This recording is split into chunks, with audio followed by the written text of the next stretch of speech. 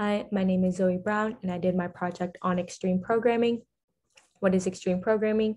Extreme programming is a framework of Agile, and Agile is a project methodology for developing software. What does extreme programming want to do? It wants to improve software quality based off the continuous implementation of customer feedback.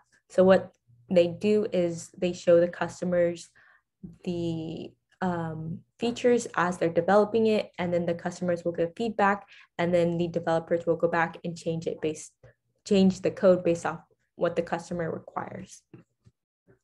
Methods and techniques include peer programming, 10 minute build, shared code, code and tests. So peer programming is a big part of extreme programming because in extreme programming, the roles of the developers and leader change, whereas the developers have more responsibility in which they can um, decide task and the project scope. And then the leader kind of shifts from a managerial position to a coaching position. And then tests are very important because before the developers show the in progress feature to the customer, they need to make sure that it works. So values include communication, respect, simplicity, feedback, and courage. You need to have the courage to completely erase code you've already made. You need to respect your teammates. You need to communicate with your teammates, such as peer programming, where two programmers are working together to create the code. And then feedback is from the customers. And then simplicity is that extreme programming works best for small programs and then principles include incremental changes, assume simplicity, rapid feedback, embracing change, and quality work.